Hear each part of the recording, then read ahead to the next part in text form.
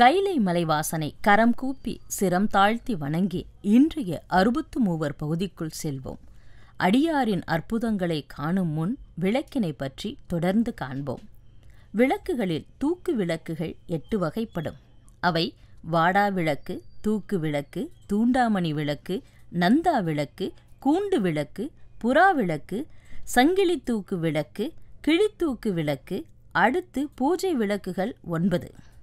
அவை சர்வராட்சத தீபம் சபூத தீபம் பிசாஜ தீபம் கிண்ணற தீபம் கிம்புரு தீபம் கணநாயக தீபம் வித்யாதர தீபம் கந்தர்வ தீபம் பிராக தீபம் ஆகியவை ஒன்பது வகை பூஜை விளக்குகளாக வழக்கத்தில் உள்ளன.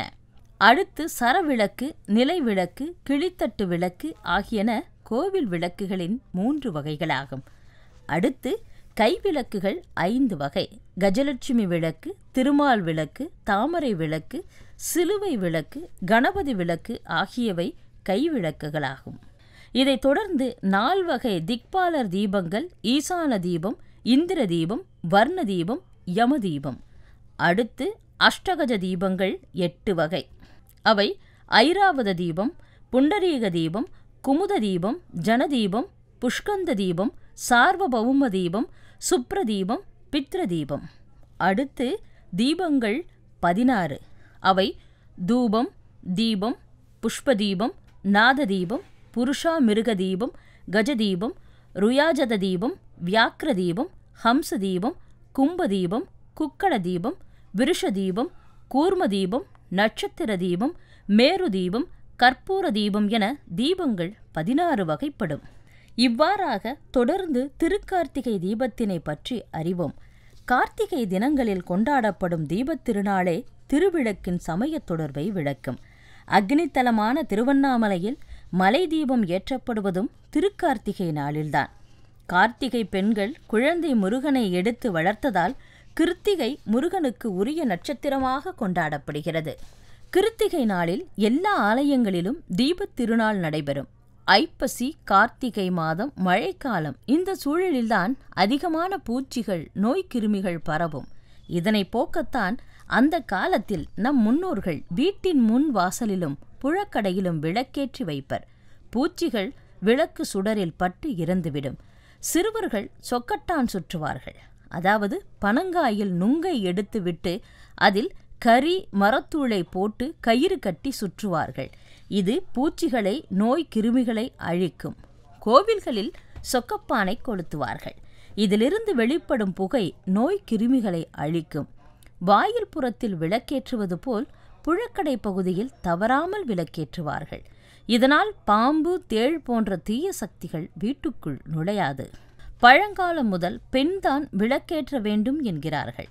திருமணமாகி பெண் முதன் முதலில் வீட்டுக்கு வந்தவுடன் விளக்கேற்ற சொல்கிறோம். வெளிச்சத்தை கொண்டு வரும் அடிப்படை ஆதாரம் விளக்கு. இருளை போக்கும் பொருள். பெண் குடும்பத்தின் விளக்காக இருக்கிறாள். எனவே பெண்கள்தான் விளக்கேற்ற வேண்டும் என்று சொல்லப்பட்டுள்ளது. இன்னொரு காரணம். ஒரு பெண்ணுடைய சிக்கன குணம் கையாளும் தன்மை பதற்றமற்ற நிலை நல்லெண்ணத்தை வெளிப்படுத்தும் முறையை கவனிக்கவும் கற்றுக் கொடுக்கவும் தான். குடும்பத்தில் என்றென்றும் ஒளிபிறக்க செய்கிற பொறுப்பு கடமை அவளிடம் உள்ளது என்பதை குறிக்கத்தான்.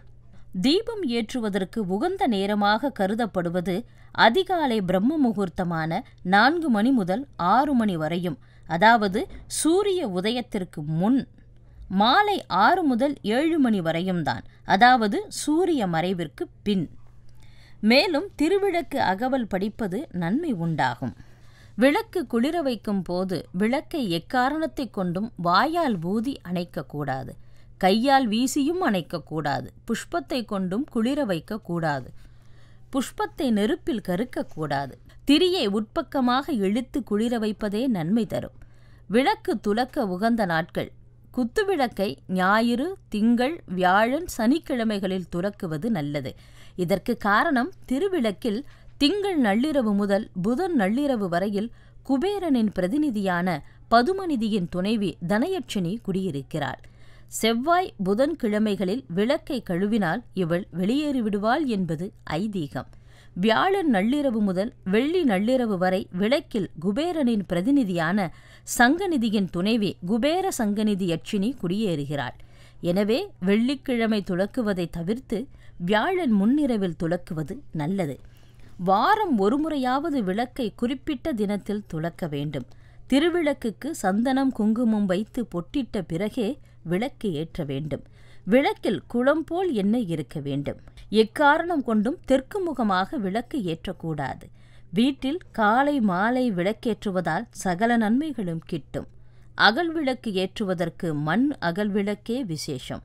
திருவிளக்கின் முக்கியத்துவம் அறிந்து முறையாக விளக்கேற்றி இறைவனை வழிபடுவோம்.